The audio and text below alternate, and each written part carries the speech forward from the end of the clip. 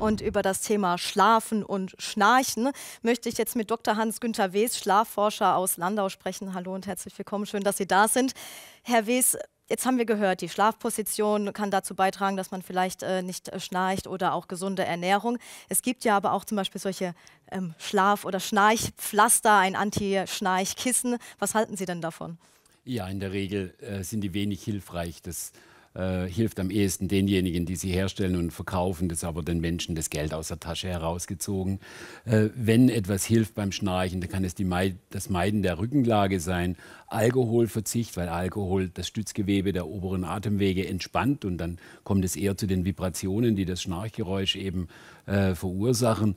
Äh, oder was eben auch äh, hilfreich sein kann, das sind speziell entwickelte, von spezialisierten Zahnärzten hergestellt, Unterkiefer vorverlagernde Schienen, die dann auch dazu führen können, dass man weniger schnarcht. Wenn ich jetzt so einen schnarchenden Partner neben mir liegen habe und möchte jetzt nicht unbedingt getrennte Betten haben, was kann ich da noch machen, damit ich vielleicht doch irgendwie einschlafen kann? Das wird schwierig werden, okay. ähm, weil das Schnarchgeräusch eigentlich äh, schwer tolerierbar ist und das für einen Partner oder Partnerin immer eine Belastung darstellt. Äh, man kann es versuchen mit Oropax. Äh, wenn das Schnarchgeräusch dann nicht mehr hörbar ist, dann kann man so gut miteinander äh, auch die Nacht verbringen. Wenn das aber nicht funktioniert, dann kann ich eigentlich nur zu getrennten Schlafzimmern raten. Mhm. Jetzt haben ja viele Menschen auch generell das Problem, dass sie nicht einschlafen können. Ähm, woran liegt das denn und was kann ich dagegen tun?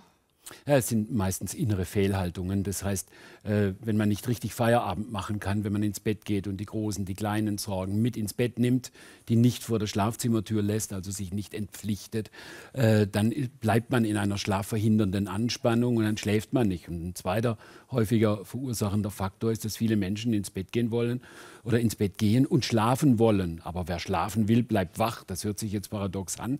Aber je mehr ich mich unter Druck setze, schlafen zu müssen, umso mehr komme ich in eine schlafverhindernde Unruhe und Anspannung und dann bleibe ich wach. Wer schlafen will, bleibt wach. Hm, ja, ich kenne das von mir, wenn man in Urlaub geht beispielsweise und weiß, der Flieger geht um 3 Uhr morgens und man will dann unbedingt schlafen, dann schläft ja. man einfach nicht ein. Ja, vielen Schichtarbeitern geht es auch so. Mhm.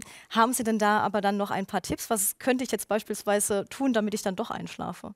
Ja, immer an Dinge denken, die äh, mit guten Gefühlen einhergehen, also neutrale Inhalte, äh, Dinge wie ja, Fantasiereisetechniken, schöne Erlebnisse im Leben, das Gehirn richtig beschäftigen, sodass es nicht auf dumme Gedanken kommt, nicht auf Grübeleien. Und äh, mit diesen äh, guten Gedanken kommen auch gute Gefühle von Sicherheit, von Geborgenheit. Und das ist die schlafförderliche Entspannung. Das ist die Autobahn in den Schlaf, solche Gefühle. Mhm. Sagt Dr. Hans-Günther Wes, Schlafforscher aus Landau. Vielen Dank, dass Sie heute da waren. Gerne.